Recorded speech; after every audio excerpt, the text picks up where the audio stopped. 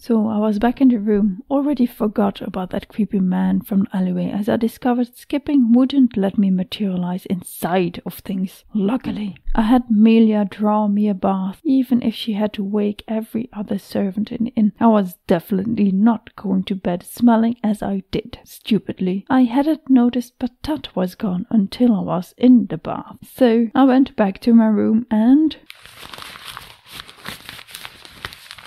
This is Nadec, my adventure, written down in a better way than I can tell it.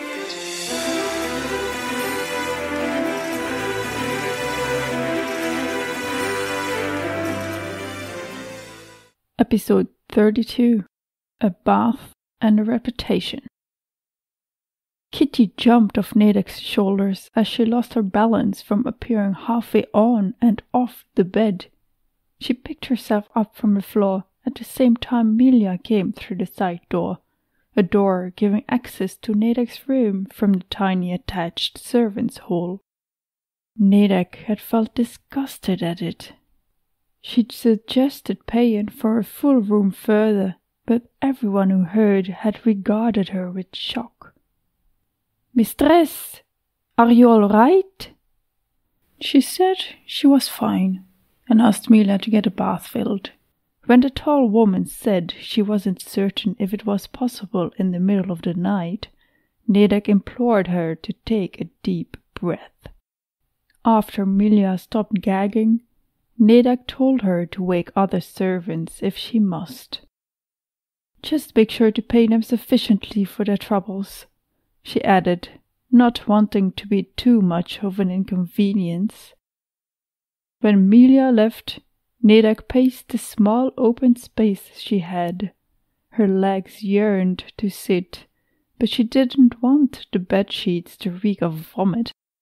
The oddity of having a bath drawn in the middle of the night would give her a reputation of being odd and demanding. Fine, she thought.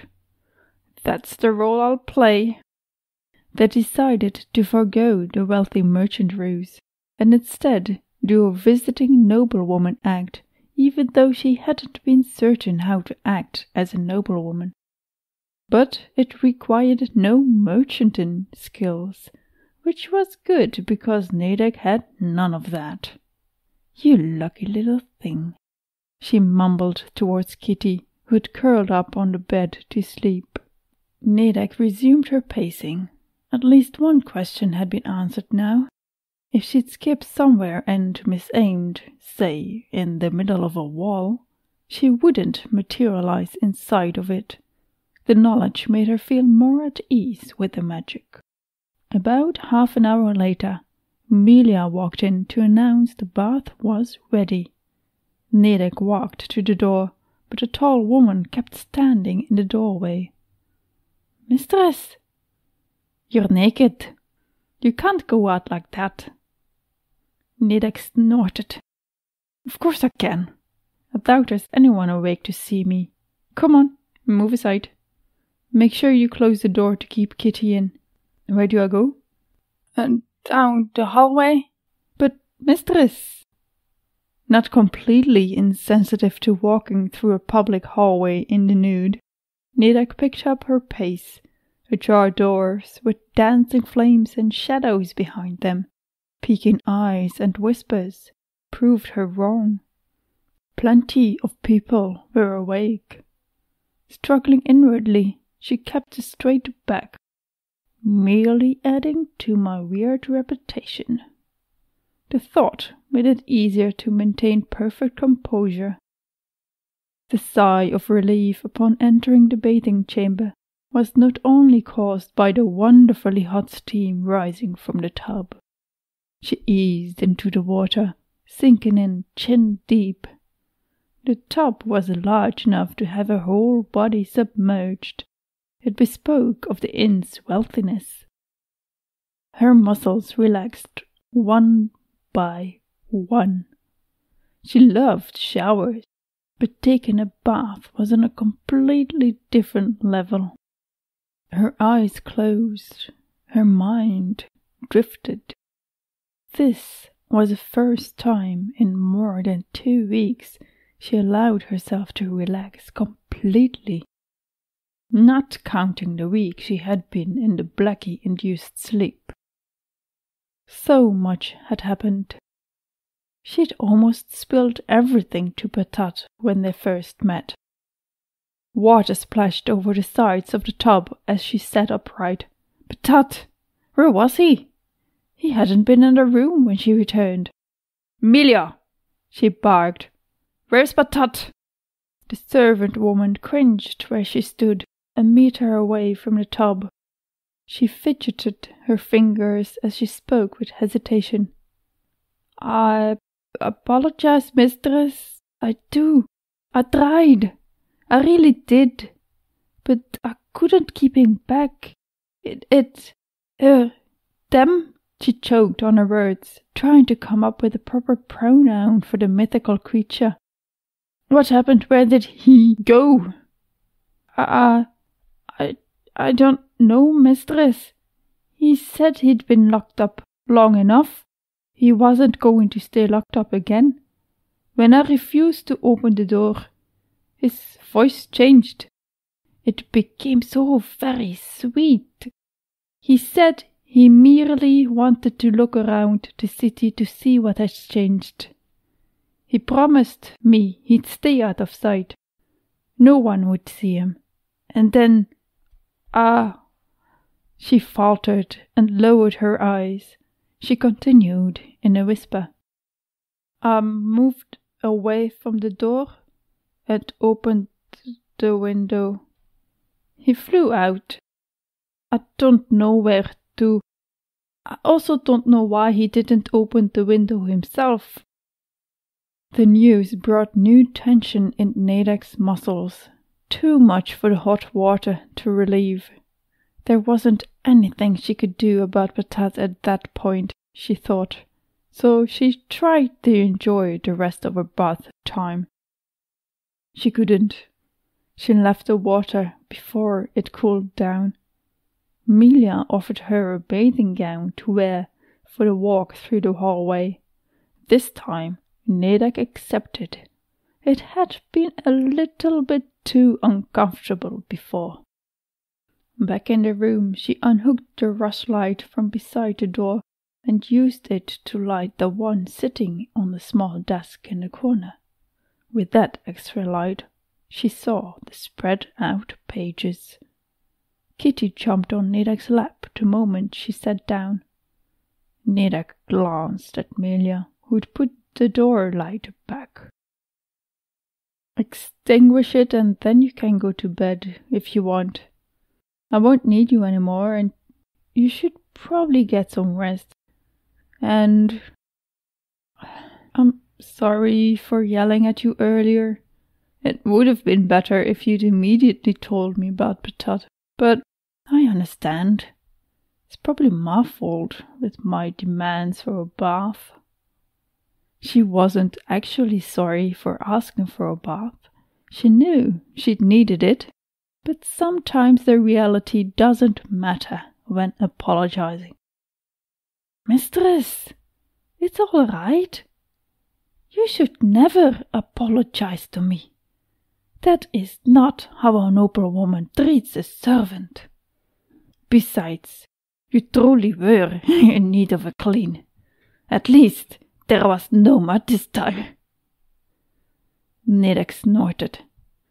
You should have seen my carpets. I also wasn't kidding when I said it felt as if I had mud everywhere.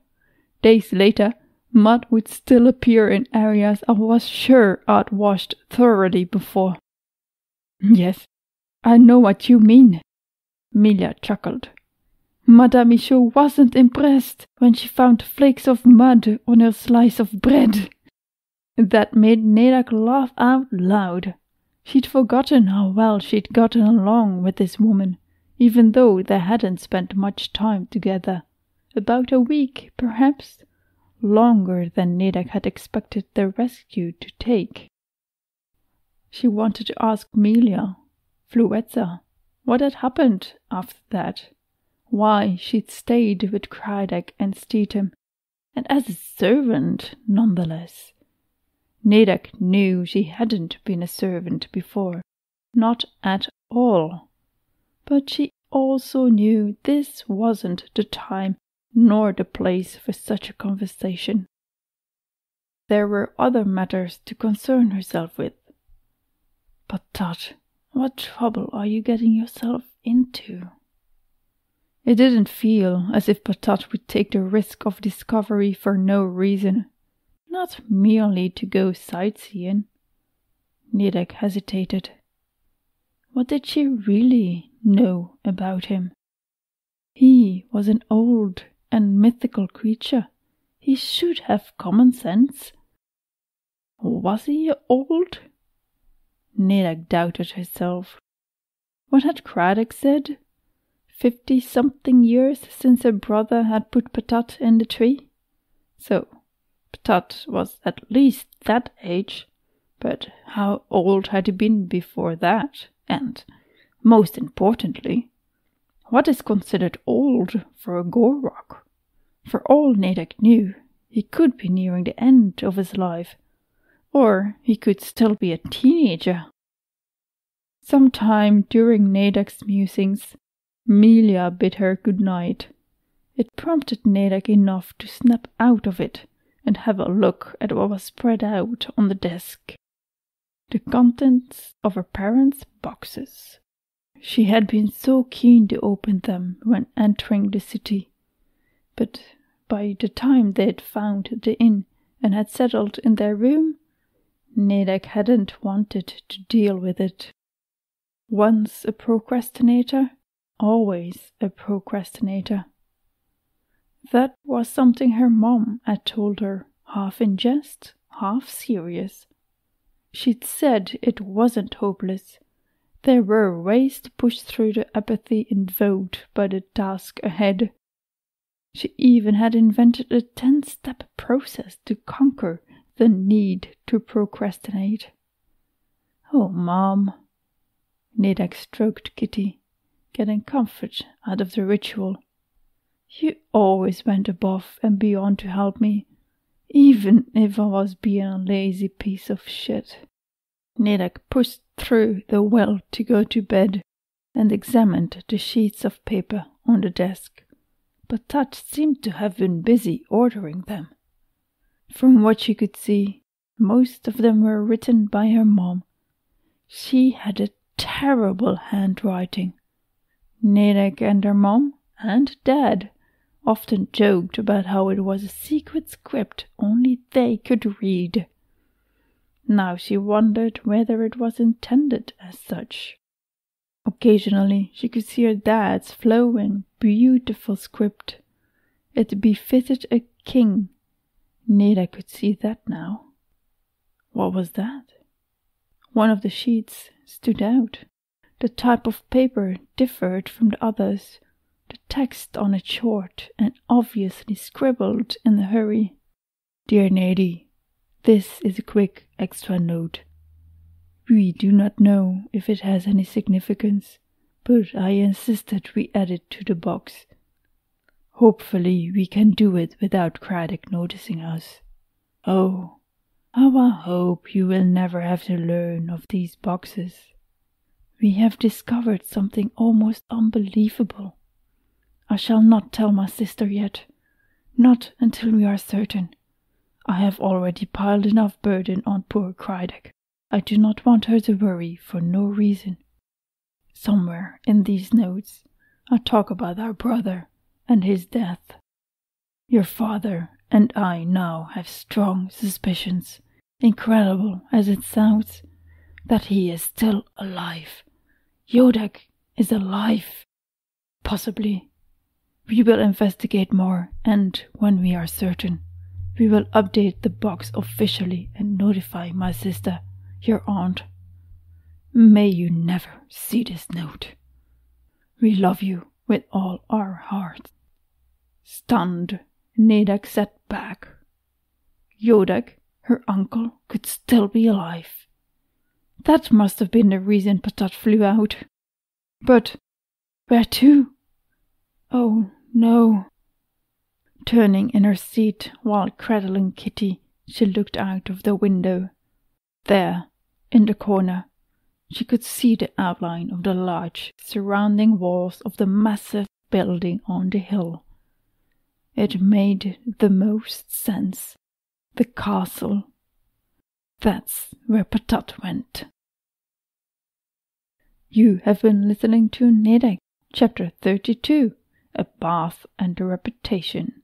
Narrated, adventured, and lived through by myself, Nadec. Written in a better way than I can tell it by Astrid Jef. Don't go just yet. We've got bloopers coming up.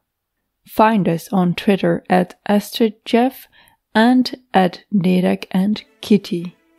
If you like this show and would like to support it, a good way to do that is share it around to everyone you know. An even better way is to rate and review it on iTunes or whichever podcatcher you use. Don't forget to follow the show or subscribe. She suggest she she should she'd suggested she'd suggested paying for a fellow fellow room. she said she was fine and asked Melia to get a bath filled. After Melia stopped gagging, M- after Melia stopped gagging, just make sure you pay them. Bloody hell. Just realized. I just realized I hadn't plugged in my uh, headphones. I was like, oh, it sounds so weird. yeah, I'm an idiot too. anyway, Nadec, Nadec resume. Shit, what's going on here? Ah, good. it's all good. Good. Down to Halvor. So much had happened. The tall servant woman cringed. I keep saying she's tall. It's a little bit. What had happened? What had happened? Why can't I do this? Hey, Waffle. Hey, buddy. There were other matters to concern herself with. Concern myself with. It is just a fool. Type of paper differed. Differed. The pa- the type of turning in her seat while cradling Kit. You have been listening to Nadec, chapter 30. Which chapter is this? You have been listening to Nadec, chapter 31. No, shit. It's 32. Doo-doo-doo.